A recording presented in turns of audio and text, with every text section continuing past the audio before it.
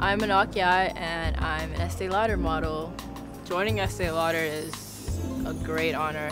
Estee Lauder said that she never dreamed of success, she worked for it, and my parents really instilled that into me.